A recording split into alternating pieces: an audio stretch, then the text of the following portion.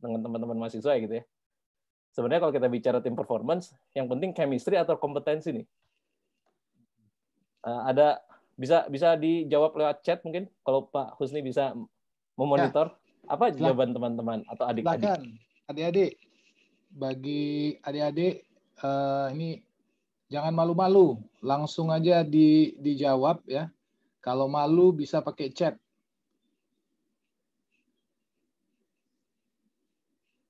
Ayo adik-adik. Pertanyaannya tadi Kang Hendro, ketika kita berbicara tentang tim performance, itu chemistry atau kompetensi? Yang penting. Chemistry, Pak. Chemistry, Pak. Chemistry, Pak. Chemistry, Pak. Banyak yang jawab chemistry nih, Kang Hendro. Wes. Keren, keren. Hmm. Jadi chemistry ya. Mayoritas chemistry ya. Karena chemistry meningkatkan kompetensi. Oh, boleh, boleh. Ini jadi saya teringat uh, dekat rumah saya tuh ada tukang cukur. Uh, terus ada juga agak jauh. Terus waktu itu mau yang agak jauh, wah tutup gitu kan. Terus saya tanya istri, uh, aduh nih nggak jadi cukur nih, jauh. Terus istri saya ngomel kan, kenapa sih nggak deket aja? Nggak ada chemistry, saya bilang. Soalnya jangan salah, buat laki-laki tuh kalau duduk itu pakainya udah tahu tukang cukur ngapain gitu ya.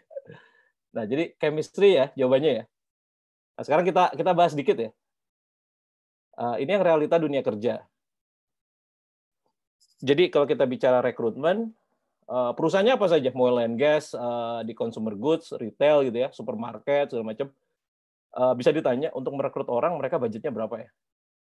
Uh, dan mereka berusaha mencari yang terbaik biasanya dari universitas ya. Dilihat IPK-nya, interview susah-susah dan segala macam. Uh, mereka berharap kalau orang pintar sudah di hire itu eh, perusahaan akan menjadi super ya. Nah, kenyataannya itu yang yang kanan nih. Meski niatnya baik gitu ya, kebanyakan banyak orang pintar malah berantem sendiri gitu ya. Jadi yang yang yang mengerikan sebetulnya ada banyak potensi kompetensi yang ada tidak terpakai akhirnya. Jadi kayak tadi, uh, mungkin, uh, aduh males banget nih masuk kerja hari Senin gitu. Gue nggak suka sama dia gitu. Saya males nih ngomong sama orang itu gitu. Nah itu yang terjadi ya. Nah ini yang sering kita dengar di lingkungan kerja. Jadi bisa bisa dilihat itu ya. Inilah komentar-komentar baik ini bahasa Inggris komentarnya ya, tapi di bahasa Indonesia uh, mungkin mirip gitu ya. Ini Pak Husni dan Pak Hendro itu sebenarnya dua-duanya pinter sih Cuma saya cocoknya sih sama Pak Husni aja. Kalau Pak Hendro ini susah lah kalau meeting sama dia. Nah, misalnya gitu ya. Aduh, gimana nih pembagian kelompoknya kok nggak bisa milih sendiri sih Pak Husni? Ini sama teman sekelompok ini saya nggak cocok ini. Ya kan?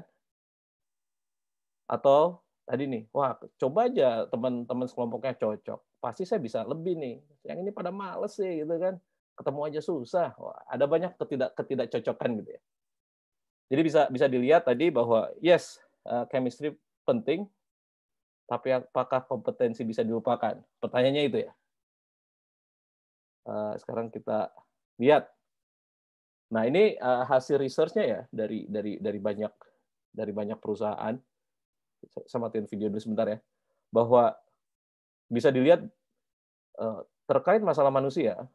Ini ini yang menarik tuh angka kedua ya 79 persen jadi 79 persen kita udah lulus nih dari ITB, Universitas Pertamina dan macam-macam ya. Tapi bisa jadi potensi kita hasil kelulusan belajar selama sekolah itu 79 persen hilang karena kita tidak bisa berinteraksi dengan baik dengan tim kita gitu ya. Ini yang ngeri lagi juga hampir 90 persen kalau udah nge-hire itu gagal. Maksudnya apa? 18 bulan kalau nggak keluar dikeluarin gitu. Ya kan? Nah, ini angka-angka yang eh, bisa dilihat bahwa ini keluar bukan dari bukan dari uh, organisasi yang abal-abal ya. Ada Deloitte, Gallup dan itu semua adalah pemain orang organisasi-organisasi yang biasa melakukan survei terhadap performa tim. Uh, sisi positifnya apa? Ternyata ini masalah global gitu. Jadi kalau saya selalu bilang sama netizen plus 62 gitu ya, masalah jangan dimonopoli gitu masalah semua 62 semua. Kagak sama. Australia juga gitu gitu. Jadi jangan jangan dimonopoli gitu ya sama netizen plus 62 ini ini masalah global dan ini yang terjadi. Uh, next ya. Ah sebelum kita lanjutkan uh, saya ada pertanyaan penting nih. Kalau saya punya 100 100 kilo grafit atau pensil sama satu kilo berlian, saya kasih gratis nih. Mayoritas bakal milih yang mana? Satu Berlian apa? Berlian. Satu Berlian, kilo Pak. berlian, Pak. Berlian, Pak. Berlian, Pak. Berlian ya? Nah, ini tadi ada jawabannya tadi. Sebenarnya alam sudah mengajarkan. Pak Husni paling tahu nih, eh, kalau eh, adik-adik belajar kimia ya. Coba dilihat struktur kimianya. Berlian dan grafit ya. Dua-duanya itu karbon murni. Karbon. Yes, betul. Dua-duanya itu karbon murni. Sama persis, karbon murni. Yang berbeda hanya cara berikatannya. Cara berikatannya be- beda. Jadi kembali soal kompetensi dan chemistry, sama kayak tadi ya. Nggak mungkin jadi berlian kalau ada satu aja nggak karbon murni, bener nggak? Karbon murni dulu gitu. Kompetisinya kompetensi harus sama dulu atau memenuhi standar ya. Yang kedua, kalau mau jadi yang membedakan antara pensil gitu ya sama jadi kar jadi berlian yang harganya mahal, cara berinteraksi. Jadi pinter kompetensi aja nggak cukup, tapi harus bisa berinteraksi. Bisa berinteraksi tanpa kompetensi juga nggak cukup gitu. Sampai botak pun nggak akan jadi berlian. Jadi dua hal itu tidak bisa dipisahkan ya. Punya kompetensi juga bisa menjaga chemistry dengan tim. Eh, sampai situ clear ya? Uncommon sense ya gitu ya. Jadi jangan cuma chemistry gitu. Dulu kalau angkatan saya tuh dibilang karena lulusnya kami nggak ada yang lima tahun gitu ya, lebih dari empat setengah tahun gitu, nggak ada yang empat tahun maksudnya. Ya, dosen saya bilang kalian ini kompak, tapi kompak bodohnya. Itu chemistry tanpa kompetensi gitu. Next. Nah sekarang pertanyaan lagi. Tadi uncommon sense yang pertama ya, bahwa chemistry dan kompetensi sama pentingnya. Ya kan, untuk tim per- tim performance. Kalau mau jadi berlian. Yang kedua nih, pertanyaan nih. Eh, coba deskripsikan sih menurut menurut adik-adik gitu ya, dalam sebuah tim ya. Leaders itu yang kayak gimana tuh harusnya? Dapat membaur, Pak. Dapat membaur, apalagi Mengayomi. Mengayomi. Ayomi, kepribadiannya gimana? Cara ngomongnya gimana? Tegas. Gas, apalagi? Yok, Pak. Kenapa? Yok. Kurang kedengeran ya suaranya? Atau internet saya yang kurang? Ada yang bilang nih terbuka, always listening, sabar dan lain-lain, Pak. Oh, sabar dan lain-lain. Mm-mm. Kalau lain-lain berarti banyak banget gitu ya. Ayo yang yang ini bisa di chat juga nih. Boleh di chat, boleh. Nanti saya bacain. Always Bertanggung jawab, listening, Pak. always understanding. Always. Ini cari pemimpin, cari jodoh. Prudensial ya. Prudential. Itu prudensial. Mulai dari nol ya gitu. open minded, tak memandang latar belakang, Yes, menarik. menarik. bertanggung jawab, kritis dalam mengambil keputusan, bijaksana. Wah, kalau ada beneran lengkap begitu asik nih. Iya, Hmm. menarik ya. Too good to be true gitu. Leaders is who makes a new leader. Wow, ini filosofis. Saya suka itu. On time. On time. On time. Itu nyindir. Itu nyindir gitu ya. Bisa saling mempercayai, toleransi. Menarik ya? Fleksibel dan visioner. Adil. Adil. Saling memaafkan. Oke. Oke. Amanah. Amanah. Saling mencintai. Sekarang kita kita lanjut ya. Silakan kalau masih mau ketik boleh. Tapi ini eh, saya tunjukkan poster ini ya. Eh, ada yang nggak tahu nggak siapa di sini? Yang mana yang nggak tahu? Paling kiri ini Bill Gates ya. Yang kanan ini Steve Jobs, almarhum. Perempuan kanan atas, ini populer sekali. Ada yang tahu siapa? Jacinda Ardern. Yes, Jacinda Ardern. Kanan bawah ini cowok juga populer sekali. Ada yang tahu?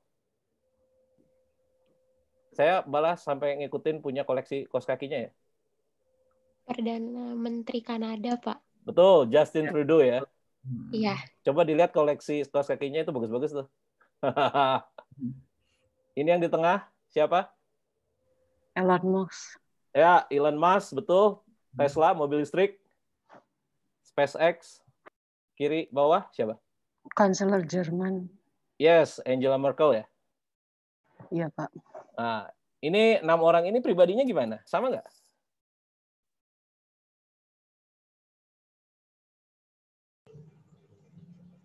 Orangnya mirip-mirip nggak?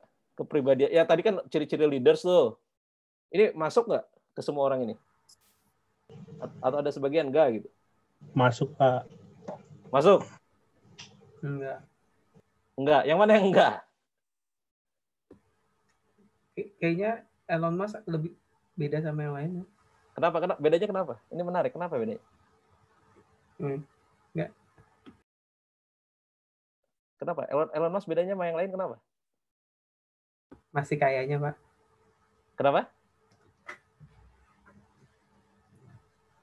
Banyak kontro lebih banyak kontroversi kalau Banyak saya kontroversi. ya. Oke. Oke. Kalau ini nih Bill Gates sama Steve Jobs nih. Komputernya banyak orang pakai gitu kan. Ini bedanya apa nih? Dua orang ini pada jadi jadi orang nomor satu gitu. ya. Apa bedanya mereka? Pernah pernah dengar nggak bagaimana mereka eh, bertindak sebagai leaders itu?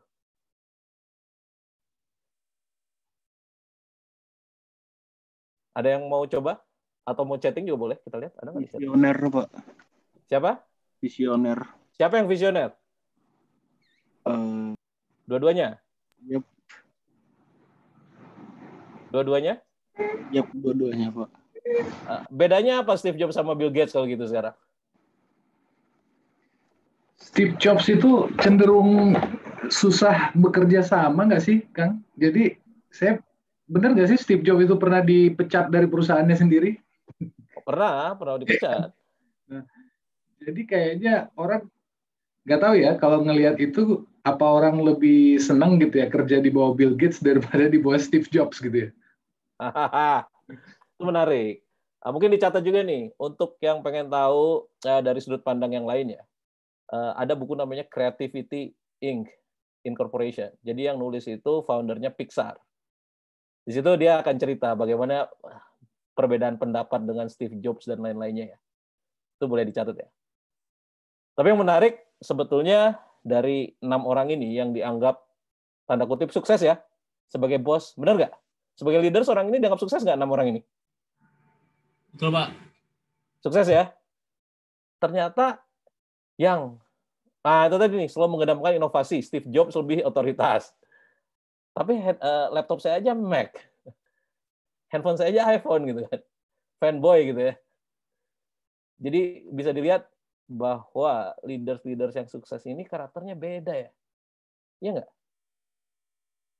Setuju nggak? Kalau bisa dibilang, ternyata li- bisa jadi leaders yang sukses, bisa jadi leaders itu, it's okay to have different characters. Benar nggak? Setuju nggak? Setuju, Pak. Setuju ya? Nah, sekarang pertanyaannya gini, sering kali kita ini melakukan stereotyping ya. Ya kalau dibilang, pemimpin yang berwibawa itu seperti apa? Yang suaranya berat begitu ya, bicara perlahan. Suka kayak gitu ya kita ya kadang-kadang ya. Kadang-kadang kita stereotyping, oh ini orang ngomongnya cempreng nih, nggak mungkin jadi leaders gitu ya. Oh, orang ini perawakannya aja pendek gitu kan. Gimana bisa jadi leader bukan tinggi gede gitu. Pakai kacamata, nerd banget nih kutu buku gitu kan. Oh ini flamboyan banget sih playboy ini, nggak mungkin jadi leader gitu. Yang tadi teman-teman diskusikan, karakteristik leaders ketika ditanya secara verbal ya. Tetapi dalam sehari-hari sering kali kita melakukan judging berdasarkan appearance, berdasarkan latar belakang tadi ya. Berdasarkan cara mereka komunikasi. Mungkin di depan orang eh, Steve Jobs ini kayak yang attention to detail-nya tinggi ya. Dia bilang nggak mau ada flash. dia strict with, it, with that one gitu ya. Dia punya prinsipal. Tapi dia sukses juga gitu. Bill Gates yang kelihatan lebih akomodatif sukses juga tuh gitu. Means untuk jadi leaders nggak harus jadi satu stereotype ya. Nah ini kenapa penting kita bahas? Karena ini yang terjadi gitu ya. Kalau kita bicara cara komunikasi saja, satu jadi cara komunikasi ya. Ada ada ada dua spek, ada ada beberapa ada beberapa kutub ya. Kita mulai dari yang satu nih, apakah cara komunikasi kita objektif atau subjektif? Objektif itu yang tadi fakta gitu ya. Kalau yang subjektif yang, yang kadang muter-muter dulu gitu, memperhat, memperhitungkan saya ngomong sama siapa nih, ya kan? Relationship gitu ya. Kalau kita di lapangan gitu ya, decide oh ya, ya kita perlu tahu juga siapa nih yang kita hadapi gitu ya. Nah, kalau yang objektif kan, oh nggak bisa, datanya begini, nggak bisa pak, di situ nggak ada minyak gitu. Ngapain dilanjutkan? Kita buang-buang duit. Jadi ada faktual sampai abstrak. Kita bisa lihat spektrum orang komunikasi aja bisa bisa bisa lebar gitu ya. Jadi dengan kata lain, tidak harus selalu yang kata cara komunikasinya faktual yang harus jadi leaders. Begitu juga tidak harus selalu orang yang bisa berdiplomasi harus jadi leaders. Yang faktual tadi ya. Everyone can be leaders. Nah, leadership itu, leaders yang baik adalah yang awareness-nya tinggi. Dia tahu dia di mana, dan dia tahu tim yang butuhkan untuk melengkapi dia itu orang seperti apa. Jadi itu ya. The second uncommon sense itu. Tidak ada stereotyping leaders. Leaders itu ya yang tadi dibilang mau mendengarkan itu skills. Tetapi personality, ya kan, cara mereka beroperasi bisa beda-beda. Dan udah banyak buktinya seperti tadi saya tunjukkan ya itu baru enam orang gitu ya saya nggak bisa nih nunjukin Indonesia, nanti dia dianggap politisasi misalnya kalau Indonesia. Jadi marah nih netizen gitu ya. Kita pakai contoh orang luar negeri aja. Sensitif kalau Indonesia nanti. Bisa dilihat leaders itu beda karakteristiknya. Dan mereka bisa juga sukses. Ini penting dalam sebuah tim performance. Kenapa? Karena tadi kita lihat ada sekitar hampir 80% potensi kita itu tidak bisa dikeluarkan. Itu biasanya karena kita tidak aware potensi teman kita. Kita cepat judging karena ah dia kalau balas WA aja lama sih kalau ngomong muter-muter padahal mungkin dia hati-hati gitu ya. dia melihat resiko misalnya dalam kerja kelompok ini apa lagi dimensi yang perlu diperlukan. Yang satu lagi sembrono gitu. Baru memulai ayo kita langsung ketik laporan gitu ya. Semua beda-beda stylenya. Jadi menyesuaikan diri itu penting. Nah mungkin nanti Pak Husni yang mungkin punya pengalaman juga di di bekerja di perusahaan multinasional ya bisa juga bercerita bagaimana biar dengan tim yang latar belakang yang berbeda cara komunikasi pun bisa berbeda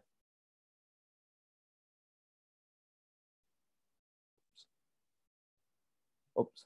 Ini uh, contoh spektrumnya. Nah, uh, sebagai ini juga yang sering terjadi stereotyping ya. Zaman sekarang apalagi paling gampang nyalahin gitu ya anak zaman sekarang demo tapi nggak tahu di, yang didemoin apa misalnya. Padahal nggak semua anak zaman sekarang kayak gitu ya, masih ada yang kuliah gitu. Atau yang tadi nih, aduh yang senior ini lambat bener. Atau juga dasar orang Amerika arogan. Dasar nih orang Indonesia susah banget tepat waktu. Ya kan? Dasar nih orang Asia muter-muter ngomongnya. Gampang ya? Kita melakukan stereotyping berdasarkan tadi generasinya, asal usulnya, dan juga gendernya. Ah, emosional banget sih, pantas. Baperan cewek sih. Sering ya kita dengar ya? Padahal tidak semua perempuan seperti itu. Dan tidak ada hubungannya dengan dia perempuan atau tidak gitu.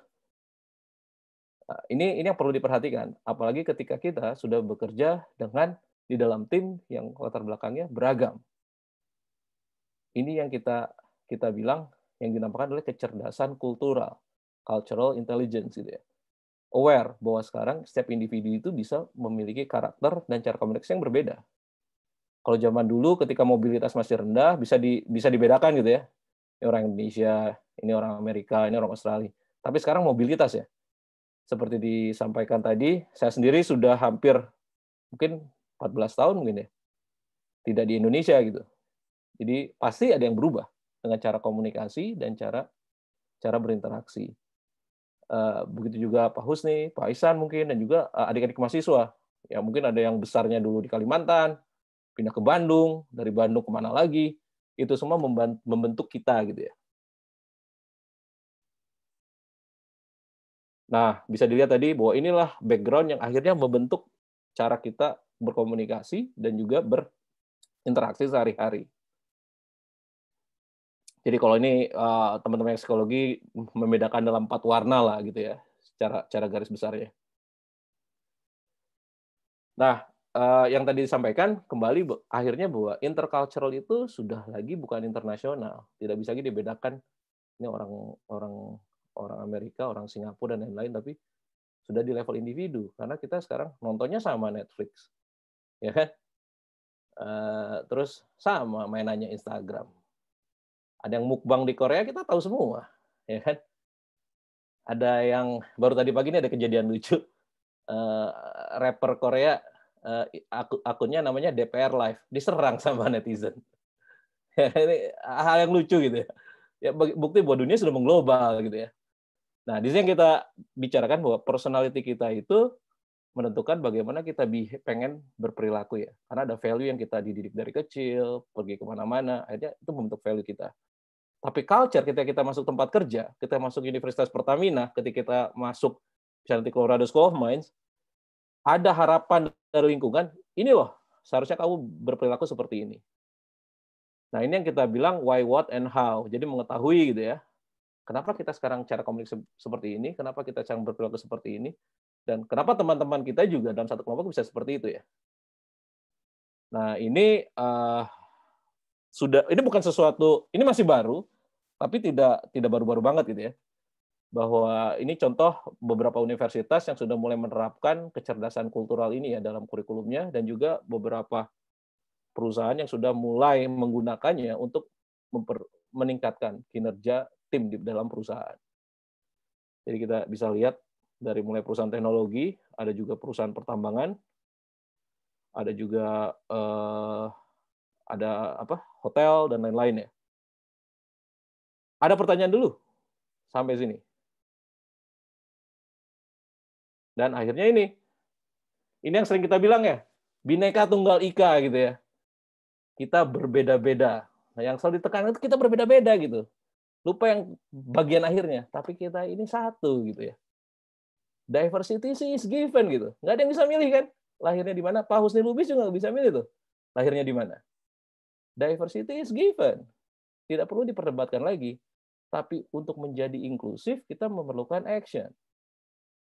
Jadi kalau teman-teman tadi satu kelompok, gampang kan bilang, gua mah nggak cocok tuh sama yang itu gitu ya. Gampang tuh ngomong, memang kelihatannya beda gitu kan. Pakai pak- nggak pernah pakai kaos kaki, itu ngomong-ngomong itu keluhan angkatan angkatan tua gitu. Ini Indro katanya ada yang menghadap, Pak kaos kaki nggak dipakai. Bukan pakai kaos kaki, Pak, no show gitu kan. Kan kagak ngerti gitu kan. Tapi untuk biar inklusif requires action. Artinya kita harus aware bahwa sekarang ada orang-orang yang berbeda dari kita, tapi bukan berarti mereka tidak berpotensi. Jadi ini uncommon sense yang kedua. Diversity itu udah given. Nggak usah bicara lagi diversity. Tapi mari kita bicara inclusivity. Bagaimana agar tim kerja kita, tim sekelompok kita bisa perform. Itu poin kedua ya. Nah, udah dikasih pembekalan, sekarang pertanyaan langsung. Fondasinya tim performance berarti apa dong? Ada yang mau coba jawab? Kepercayaan satu sama lain mungkin, Pak. Trust, yes. Apalagi? Komunikasi. Ketik. Komunikasi, tuh. Ada lagi?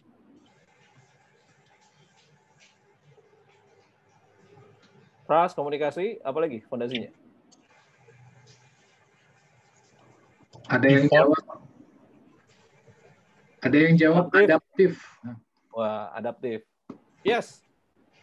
Empati, ah, sip. Sip, sip, sip, sip. Jadi, jadi mulai eh, sekarang eh, adik-adik adik-adik bisa melihat bahwa faktor manusia yang mulai disebut ya adaptif, empati, gitu ya, bukan cuma hard skill. Nah, sekarang kita kita lanjutkan bahwa, nah, ini merupakan hasil studi yang yang sudah dilakukan ya. Jadi eh, kita mulai dari dari Google ya. Google ini kalau memang ini lucu juga nih. Google, kalau mau tahu ya googling gitu ya. Googling bahwa Google itu ada punya nama project namanya Project Aristotle. Jadi Project Aristotle ini Google beberapa tahun meneliti sebenarnya apa sih fondasi tim performance gitu ya. Nah, eh, bisa dilihat hasilnya, summary-nya. Terus juga yang kedua ada juga dari Harvard Business School ya, namanya Amy Edmondson ya. Eh, psychologist yang menulis sebenarnya apa sih eh, yang yang bisa kita bikin kita ini sebagai tim bagus gitu ya. Jadi eh, du- dari dunia akademisi juga sudah dan juga dunia bisnis sama-sama melihat ini penting. Hanya mereka eh, banyak melakukan penelitian. Nah, terus juga ada ada perusahaan eh, yang namanya Fable. Jadi Fable ini eh, dari Jerman lalu ke ke Amerika dan kemudian berpartner dengan kami gitu ya. Memiliki banyak dan juga kami memiliki banyak pengalaman membantu perusahaan-perusahaan untuk drive performance gitu ya.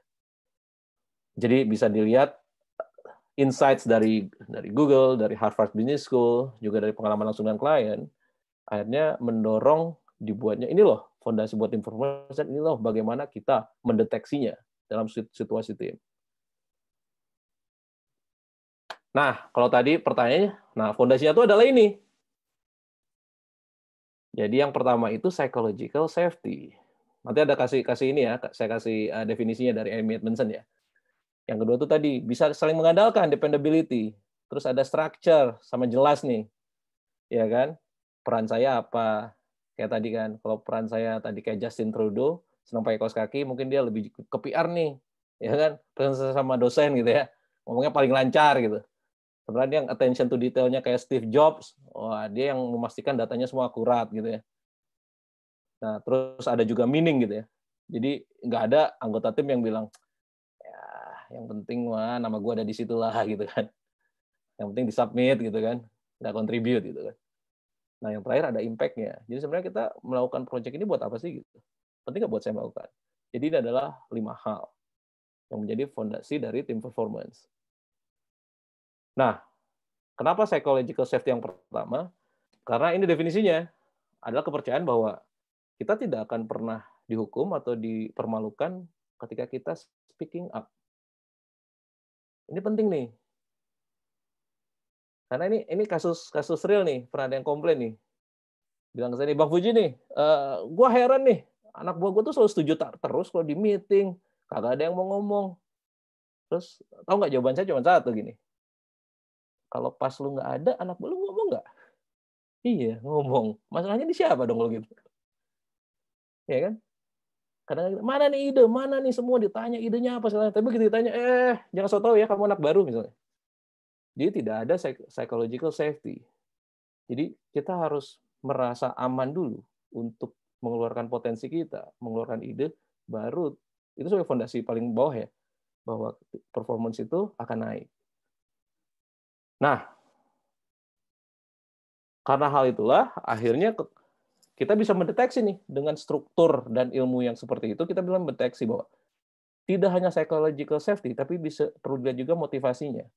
Karena kalau orang tadi ya chemistry-nya bagus tanpa kompetensi dan motivasi, ya tadi ya pagi datang kantor makan gorengan dua jam gitu kan, kerja satu jam, terus keluar lagi lunch tiga jam gitu kan, udah gitu sholat asar segala macam pulang gitu kan.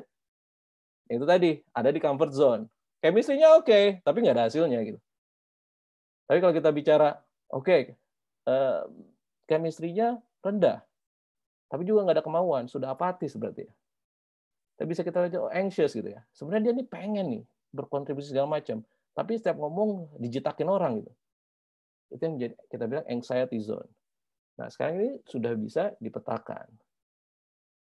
Nah, yang menarik dan juga baik adalah ketika Pak Husni secara terbuka kemarin ya, adik-adik sangat beruntung gitu ya. Bahwa ini yang biasa kita dengan komersial, kemarin kita putuskan bahwa untuk education purpose, tools ini bisa dipakai ya, untuk mahasiswa. Kebetulan karena adik-adik ini bekerja dalam capstone dalam dalam project, maka adik-adik boleh bisa menggunakan fasilitas ini untuk mendeteksi tim performance kelompok masing-masing gitu ya. Caranya gampang, cuma ngisi ngisi assessment doang gitu kan. Tapi ingat ya, ini kata-katanya assessment sebenarnya bukan penilaian, survei gitu ya. Dan survei ini sifatnya anonim. Eh, bisa dijamin ya Pak Husni tidak mempengaruhi nilai? Ya, ya, insya Allah. Jadi adik-adik ini tidak akan mempengaruhi nilai ya. Tapi ini Iya. insight yang berharga lah menurut saya eh, untuk adik-adik begitu. Ya, jadi eh, nanti akan ditanya. Pertanyaan cuma sedikit, 14 pertanyaan, gampang dari handphone juga cepat selesai. Paling 3 sampai 5 menit selesai. Sebenarnya ini merupakan simulasi ya. Bagaimana sih kondisi kita bekerja dalam tim?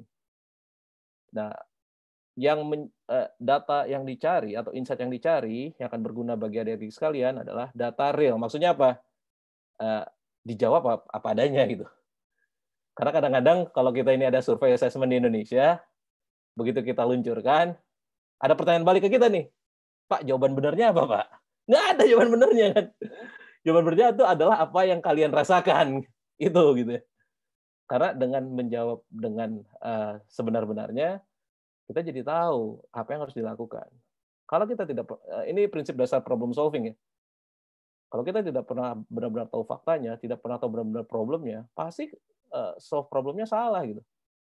Dan pengalaman saya sebagai konsultan ya, eh, dari dari top tier consulting, sekarang punya consulting sendiri, bisa dibilang 60-70% problem solving yang stuck itu bukan karena kita ini nggak mampu, tapi kebanyakan karena kita solve the wrong problem gitu aja.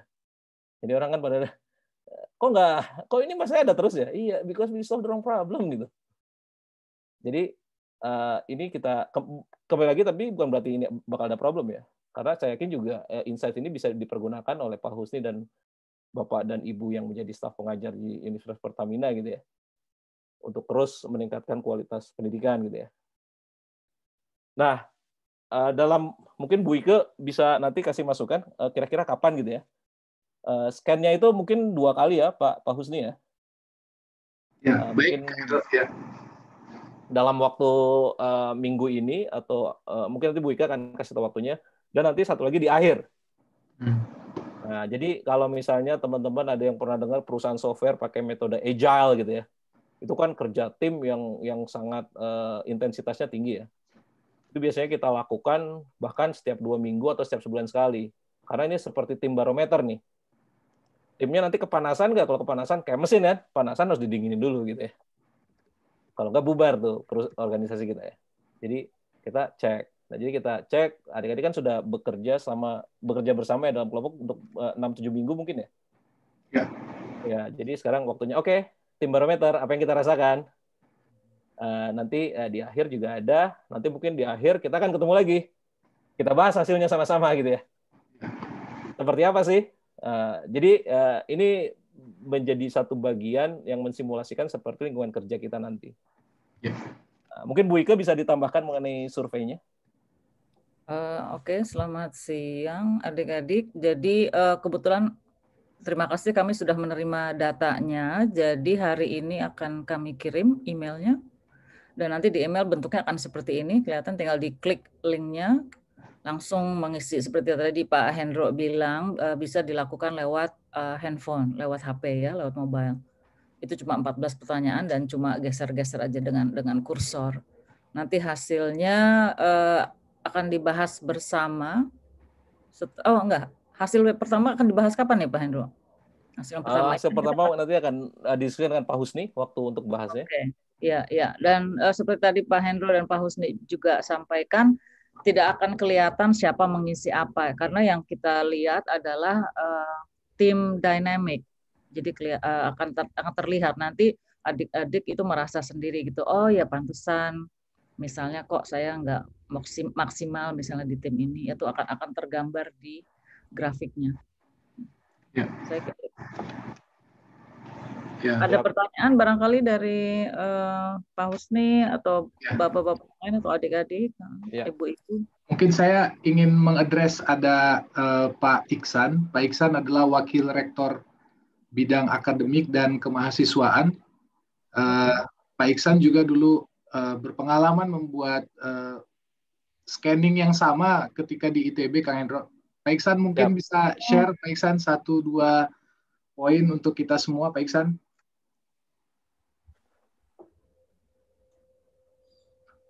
Masih di mute Pak Iksan saya. Mute saya, oke. Ah, iya, Pak. Ya, eh, Assalamualaikum warahmatullahi wabarakatuh. Waalaikumsalam. Waalaikumsalam warahmatullahi wabarakatuh. Saya ingin mengucapkan terima kasih nih ke Pak Fuji panggilnya ya, Pak Fuji. Ya. Dan Bu Wike eh, dan Bang Husni yang udah mengundang saya. Tadi pagi tadi komunikasi sama Bang Husni katanya satu seperempat, saya datang satu empat belas, eh udah mulai rupanya. Oke, eh, maaf saya terlambat. Nah, jadi memang tentang teamwork ini sesuatu yang sangat penting untuk dilatihkan kepada mahasiswa sebelum mereka mulai kerja. Saya tuh dapat cerita dari saya ngajar di teknik eh, dirgantara teknik penerbangan ITB. Jadi saya dapat cerita satu alumni dia mengatakan ini kan di teknik penerbangan tuh mahasiswa eh, mahasiswinya tuh lah lumayan banyak juga. Dia cerita Pak, kita itu habis tugas kalau di teknik penerbangan itu sejak zaman dulu ada tugas namanya perancangan pesawat terbang. Itu tugas kelompok. Jadi si alumni ini mahasiswi cerita, kita tuh Pak ada yang nggak tegur-teguran sampai udah selesai tugas itu udah selesai sampai tahun berikutnya katanya. Nggak tegur-teguran karena karena itu tadi kerja kelompoknya nggak benar gitu ya. Jadi itu masalah besar rupanya di di kalangan mahasiswa. Memang tidak semua gitu. Tapi dosen juga merasakan bahwa pekerjaannya ini ada yang diambil sebagian besar oleh yang tertentu gitu ya. Tapi dosen nggak punya tools untuk menilai gimana mereka kerjasama. Akhirnya sampai saya ya ada satu buku saya cari, cari lagi bukunya hilang nggak tahu ke mana itu eh, buku itu kemudian mengusulkan ada satu ini apa penilai ya pers, penilaian persepsi dari mahasiswa jadi dalam bentuk kuesioner. Nah di situ di kuesioner itu mahasiswa menilai dirinya dan menilai teman dalam satu timnya. Pertanyaannya saya nggak ingat berapa agak banyak kalau nggak salah saya 30-an. Kemudian kita buatkan softwarenya sehingga mahasiswa itu bisa melihat dia menilai dirinya seperti apa dan dinilai temannya seperti apa gitu ya. ya. Nah menarik juga tuh. Dan setelah kita ya kita jalankan dua tahun kalau nggak salah saya waktu itu dua tahun itu penilaian apa hasil penilaian persepsi itu ternyata akurat gitu ya. Jadi seseorang itu dinilai temannya tertentu itu ya memang rupanya semua teman lain menilai menilai punya persepsi yang sama tentang dia. Nah, cuma sayang itu ya tidak semua dosen itu merasakan pentingnya ini. Ya. Jadi kemudian setelah saya ya banyak tidak di program studi lagi, itu kemudian hilang aja tuh program itu karena dosennya nggak nggak pada nggak nggak menyadari bahwa ini penting sekali. Kalau menurut saya ini sesuatu yang sangat penting me, me, me, apa namanya memberikan pengalaman kepada mahasiswa, pengetahuan kepada mahasiswa bahwa kerjasama dalam tim ini kita harus kita harus menilai diri kita sendiri, kemudian berlatih untuk itu dan kita bisa perbaiki. Nah itu yang yang kalau menurut saya yang saya waktu Pak Husni cerita tentang ini saya tertarik sekali untuk mendengarnya gitu. Nah, ya saya terima kasih sekali bahwa ini boleh dicobakan dengan gratis nih ke mahasiswa ya. teknik geofisika gitu. Ya. Saya kira dari saya itu aja mungkin juga udah kepanjangan nih. Terima kasih banyak Pak Isan. Ini di tengah-tengah kita juga ada uh, Pak Neki ya, Kang Hendro ya. Ada Pak Neki dari Prasetya Mulia ya, Kang Hendro. Karena uh, Prasmul juga sepertinya akan implement juga Pak di kuliah kewirausahaan gitu ya, Kang Hendro ya mungkin ya. nah, ya nanti mungkin kita bisa bicara apa namanya kalau untuk pendidikan gimana skemanya gitu Pak. Pak Pak Hendro ya bukan ya Pak. ya ya. Bisa bisa panggil saya Puji ya, Pak. gimana nggak apa-apa.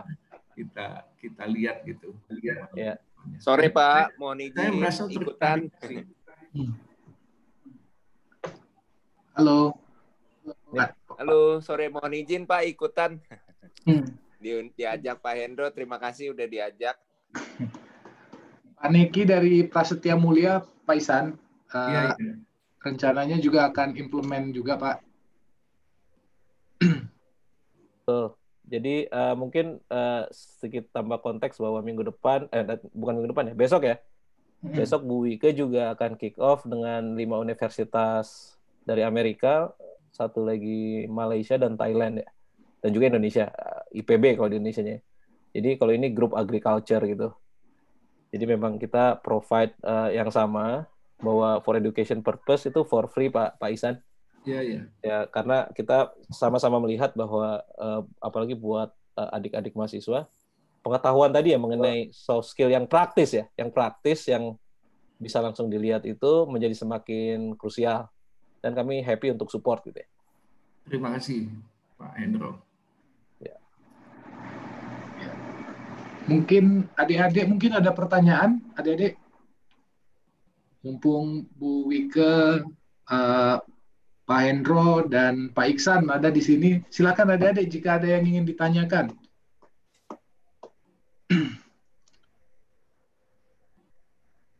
Tapi cerita tadi Pak Iksan tentang habis tugas kelompok musuhan satu tahun itu menarik juga itu Pak. kejadian tuh. Ya apalagi ini mahasiswi gitu ya. Bisa kejadian tuh. Tapi tapi kalau di lingkungan kerja pak ada juga yang bilangnya gini pak bahwa oh saya sama orang itu kerjanya bagus tapi kalau ngomong saya harus lewat sekretaris. Jadi ilusinya begitu pak. Jadi ada juga tempat kerja seperti itu. Jadi kalau ngomong langsung udah nggak bisa harus lewat sekretaris katanya. Tapi ngakunya hubungan saya bagus katanya. ini menarik sekali karena uh, pengalaman dulu uh, kalau kita bekerja terutama di oil and gas begitu Pak, itu pasti akan bekerja dalam tim Pak. Nggak, nggak akan pernah kita bekerja sendirian begitu. Jadi pasti akan bekerja dalam tim.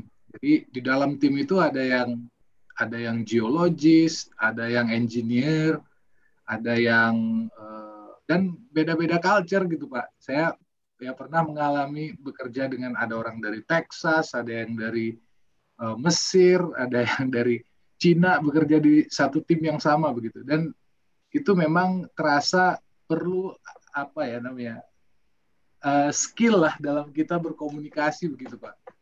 Dan dan itu memang tidak ada diajarkan di di kampus begitu pak ya. Nah itu memang yang yang eh, saya ketika kemarin diskusi dengan Kang Hendro itu senang sekali karena saya pernah merasakan begitu ya. Dan hmm. banyaklah contoh-contoh kasus begitu. Apalagi kalau bekerja dengan orang-orang lapangan itu Pak, aduh, itu kita harus harus apa namanya pintar-pintar milih kata gitu. Iya betul. Itu itu salah satu sebabnya mengapa judulnya Uncommon Sense, bapak-bapak, ibu-ibu, karena kita sering lupa seperti tadi uh, penel, apa uh, survei yang dilakukan Pak Iksan mengenai persepsi setiap orang itu ternyata apa yang kita rasakan berbeda dengan yang orang lihat. Karena sering kali kita hmm. lupa bahwa yang make sense buat buat kita belum tentu make sense buat orang lain. Kita kita sering dengan mudah bilang gimana sih itu kok common sense-nya nggak jalan ya? Mungkin orang itu juga sama mengatakan ke soal kita gitu kan. Hmm. jadi itu uh, konsep uncommon sense itulah yang yang harus kita sadari bahwa tidak semua apa yang kita rasakan itu sama dengan yang orang lain rasakan. Ya. Ada pertanyaan nih, tapi uh, private ya. Jadi tapi saya no name ya. Jadi ini ada yang masuk nih chatnya. Uh, uh, saya kompeten, bisa kerja selesai, tapi uh, kalau komunikasi uh, tidak mudah buat saya komunikasi ya. Apakah saya bisa sukses? Gitu ya? Jawabannya bisa. Karena ini ada ya, aja, kan? saya langsung saya hmm. langsung uh, kasih contoh ya. Jadi sama Bu Wike tahun lalu uh, Pak Isa dan uh, Bang Husni hmm. kita menghabiskan waktu di Kalimantan di pedalaman. Kita ingin improve kita ingin improve uh, uh, safety culture budaya kerja safety di perusahaan. Sementara kita tahu kan industri berat penting ya. Jadi uh, uh, pada saat uh, bisa dilihat Indonesia beberapa tahun terakhir ketika heavy industry naik uh, volumenya apa pun industrinya kecelakaan naik ya. Nah kita bertemu dengan banyak orang di lapangan yang tadi awalnya kita minta untuk ngomong aja lari, lari, benar-benar lari nih ya. Kita kita bukan bukan di hiperbola, diajak ngomong lari, pak kabur gitu, kabur. Ini ke mana nih orang gitu ya? Kabur. Uh, tapi ternyata uh, beliau-beliau ini adalah orang yang bisa bekerja dan bisa bisa mem mempengaruhi rekan kerjanya. Jadi yang dilakukan seperti itu yang pertama tadi self awareness betul yang Pak Isan bilang self awareness tahu tahu dulu apa yang menjadi kekuatan kita, apa yang perlu kita expand skillnya, comfort zone-nya. Nah dari situ ya kita develop diri kita. Starting point-nya tadi sudah betul dan memang sudah dibuktikan oleh Pak Isan juga dan ceritanya waktu di ITB kampus dulu ya. Self aware dulu. Dan yang tadi uh, yang sudah bertanya kepada saya tadi gitu ya itu sudah langkah bagus tuh. Secara open bahwa menurut saya saya begini menurut saya ini kekurangan saya what should I do? Karena kalau sejatinya semua orang yang sukses tanya aja semua yang orang sukses sekarang ya. Tanya aja 20 tahun lalu dia kayak gimana gitu. So don't worry gitu ya. Uh, ketika kita aware dengan diri kita berarti kita tahu apa yang harus kita improve. Permasalahan tuh nggak sukses karena ya tadi yang pertama kita ngerasa kita Superman gitu ya. Gua oke okay kok gitu ya. Terus nggak mau improve. Atau yang kedua, gua tahu, gua tahu nih, gua kurangnya apa, tapi nggak mau deh gitu disuruh improve. Itu yang bikin nggak sukses. Jadi kalau ditanya lagi balik lagi bisa sukses pasti bisa. Gitu ya. Untuk yang tadi bertanya private. Jadi jangan khawatir. Yang penting selalu uh, develop diri diri kita. Ya, adik-adik mungkin ada pertanyaan yang lain, mungkin satu dua penanya lagi. Ada lagi private lagi. Oh ada lagi. ini kayak psychological safety nih berarti.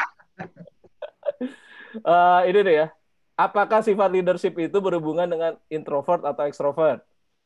Jawabannya tidak ada hubungannya. Jadi kalau lihat Bill Gates, Bill Gates tuh kalau dulu ya belum belum jadi bos gitu ya masih masih di bawah gitu. Kalau ada pesta kira-kira Bill Gates itu di tengah-tengah atau di pinggir melipir? Melipir lah Bill Gates gitu kan. Malu-malu dia gitu kan. So it's okay. Introvert or extrovert. Apalagi kalau kita lihat definisinya ya. Introvert extrovert itu soal bagaimana kita mencari energi kita ya. Ada yang recharge dengan baca buku gitu ya. Ada yang emang harus hang out sama teman-teman. It's okay. It's okay. Dan kalau kita lihat di lingkungan di sekitar kita banyak kok pemimpin yang introvert, banyak juga yang extrovert. So doesn't matter gitu ya. Kembali lagi menjadi leaders itu bukan soal jadi leadersnya. Kalau menjadi leaders gampang bikin perusahaan sendiri langsung jadi leaders kan gitu. Tapi menjadi leaders itu tahu apa yang ingin dicapai, tahu kita itu mau mampunya di mana, terus tahu atau tahu caranya ngajak orang lain biar bisa support kita yang skillnya melengkapi. That's leaders itu. Jadi jangan jangan jangan takut kalau ngerasa introvert extrovert doesn't matter. Uh, terus tadi nah ini nih ada yang curhat ini tahun keempat harusnya uh, ada teman yang masih susah kerja nih gitu ya. Gimana cara approach-nya? Padahal udah tahun keempat gitu ya. Masih aja susah diajak kerja gitu. ada rasa frustasi tampaknya gitu. Uh, terus uh, gimana cara approach-nya? Jadi kalau ini uh, kembali kepada cara persuasi ya. Jadi kadang-kadang kembali uh, dalam lingkungan uh, ini belajar juga dalam kita lingkungan kantor nanti kita bekerja. Ada banyak hal yang bisa di-solve sama kita, tapi ada juga hal yang di-solve di luar teritori kita. Contoh tuh, kalau kita udah kerja nanti nih, dan ini ini sangat tipikal kalau boleh tanda kutip ya dari Asia gitu yang nggak berani ngomong ya. Ketika pindah ke Australia misalnya, semua dipendam gitu. Padahal ada beberapa hal misalnya dia dibully atau apa, bilang sama HR gitu, it's your right, hak anda gitu ya. Nah jadi tips pertama adalah jangan merasa ini harus diselesaikan oleh anda sendiri gitu. Kan masih mahasiswa gitu ya Terus yang kedua, ingat teman kita juga masih muda gitu ya, still developing gitu ya. Jadi kalau yang tadi kita bicara intercultural, sebenarnya wisdom terbesarnya adalah tadi kita tunjukkan ya, cara komunikasi, cara berperilaku orang itu adalah produk. Produk pendidikannya, value-nya, pernah ke mana saja. Jadi dengan dengan kita tahu itu, empati kita lebih besar bahwa orang hari ini seperti ini bukan salahnya loh. There must be something behind that gitu ya sebenarnya itu wisdomnya. Jadi sehingga kita sebagai leaders punya lebih banyak empati sama teman-teman kita. Jadi kalau ada yang tadi, kok begini, kok begitu, itu good starting point ya untuk bertanya. Tapi nextnya, seek help. Apalagi kalau di kampus kan ada dosen pembimbing ya, Pak Husni, ada yeah. dosen kita dan pasti anonimus dan lain-lain. Jangan diselesaikan sendiri. Dan yang kedua, uh, kedepankan empati. Tipsnya itu. Uh, masih ada satu lagi. Ah ini ada. uh, saya pernah jadi ketua tim. Oke. Okay. Saya tidak dihargai sebagai ketua tim lah istilahnya. jadi jadi uh, uh, dalam usia-usia segini memang kita masih belajar ya bahwa tadi role jadi uh, tips saya seperti ini ketika kita membentuk tim uh, ini bisa bisa ditanya ya dalam banyak uh, organisasi. Uh, kebetulan waktu saya kerja di salah satu uh, number one consulting team ya di dunia gitu ya. Salah satu habit yang sangat baik yang dilakukan ketika baru membentuk tim adalah kita adanya ada namanya team learning. Biarpun proyeknya berlanjut gitu ya tapi setiap mulai project selalu ada yang namanya team learning. Dan kita spend itu satu uh, satu dinner long dinner gitu ya team learning. Basically saling mengenali saling berkenalan dan saling cari tahu. Sebenarnya cara kerja yang paling asik gimana sih gitu? Nah ini ini bisa jadi salah satu tips nih. Jadi uh, kadang-kadang sering kali kita itu kalau bekerja itu fokusnya tugas ya. Kita lupa bahwa yang kita hadapi itu manusia gitu ya. Nah, apalagi untuk yang muda di kampus, uh, kalau ngerjain tugas gitu ya. Uh, tugas penting, harus selesai benar, tapi enjoy the ride gitu ya. Dinikmati. Karena kalau di kampus gitu ya, pressure tidak setinggi di tempat kerja gitu ya. Betul nggak Pak Husni? Yeah. Atau itu beda cerita gitu ya. Bisa bisa deadline-nya besok tiba-tiba telepon enggak, deadline-nya dua jam lagi ya, tolong kumpulkan gitu. Wah suka-suka dia gitu ya. Dan nggak ada cerita gitu. Nah, itu when you are still students, uh, saran saya yang tadi next time do team learning ya oh do team learning terus ya uh, temukan yang tadi siapa dia dan apa persepsi dia siapa kita apa persepsi kita. It's it's it's uh, itu habit yang kelihatannya uh, susah tapi saya kasih tahu top tier organization organisasi top melakukan itu secara reguler. Jadi kalau itu bisa dilakukan that's good. Udah? Pak Hendro kelihatannya sebelum mulai eh, kerja kelompoknya itu memang ya itu tadi kalau di Pak Hendro ada pakai ya. apa namanya dinner gitu ya. Betul. kita kayaknya uh, perlu ada pertemuan pembuka.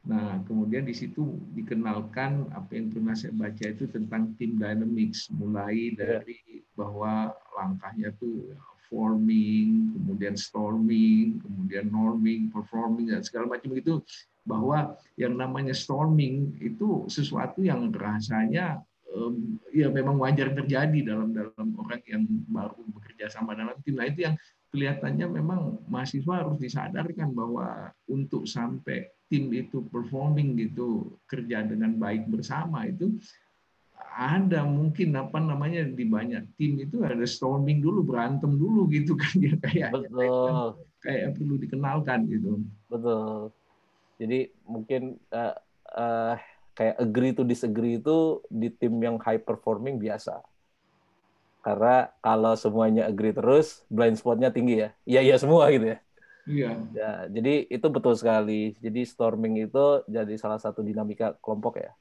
Hanya tadi uh, ketika empatinya sama maturity-nya belum, ya tadi ya sampai setahun setelahnya nggak ngomong gitu.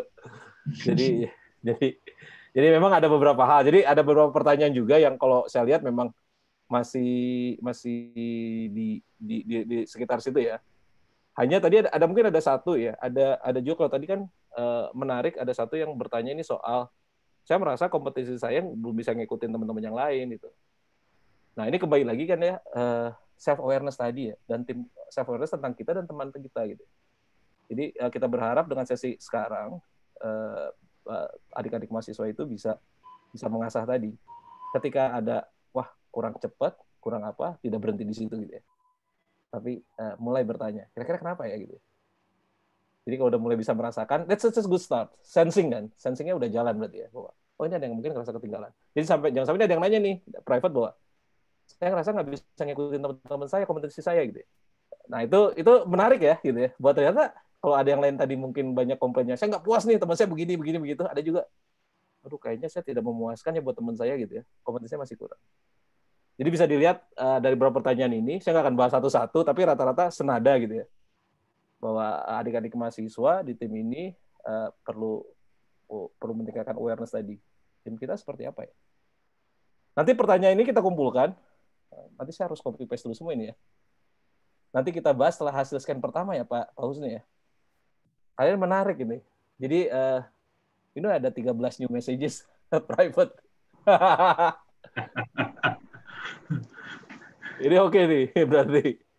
Ya, ya. Tapi ada juga nih, eh nggak jadi Pak, maaf. Ini lucu juga ini. Siap, Ya. siap, siap. Jadi uh, pertanyaannya kita kita capture ya, Pak Pak Husni, tetap anonymous. Saya saya saya akan capture. Uh, nanti kita kita apa? uh, kita bahas pada saat membahas hasil ya. Ya, Hendro. Siap. Kapan kira-kira kita membahas hasil ya, Kak Hendro ya? Uh, mungkin nanti bisa sama Bu Wike. Uh, Bu Wike kita kirim hari ini ya. Uh, mungkin Sorry, bisa. lihat, Oke. Saya akan kirim setelah kita selesai, eh, karena kalau nggak salah datanya udah masuk semua ke dashboard.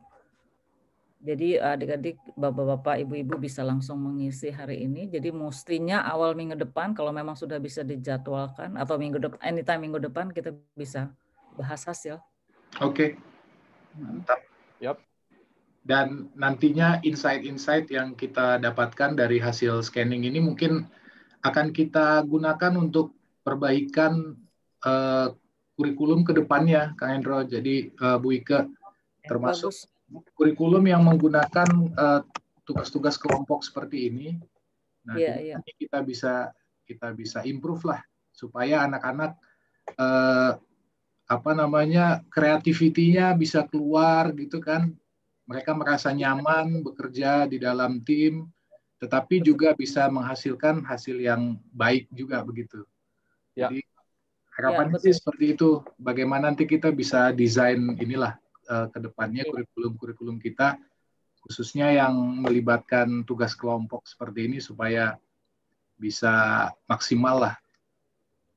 Betul, betul sekali. Ya, sebetulnya beruntung sekali sekarang ada ada tool ini ya dulu dulu dulu kan kita nebak-nebak ketika diberi tugas kelompok kita tebak-tebak cocok apa enggak nih kalau enggak ya udah diam aja yang penting dikumpulin gitu kan. Ya, Kalau ya. sekarang ada ada tools ini kita masing-masing dari kita asal mau aja kita kita bisa mengoptimalkan potensi individu dan potensi kelompok.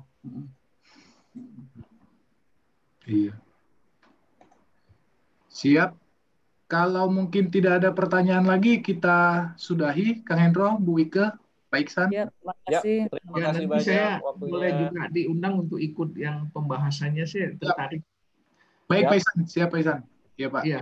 Baik. Karena saya tuh gini, Pak Hendro, Bu Wike, eh, tadinya semester ini mau mulai buka eh, mata kuliah eh, kepemimpinan organisasi.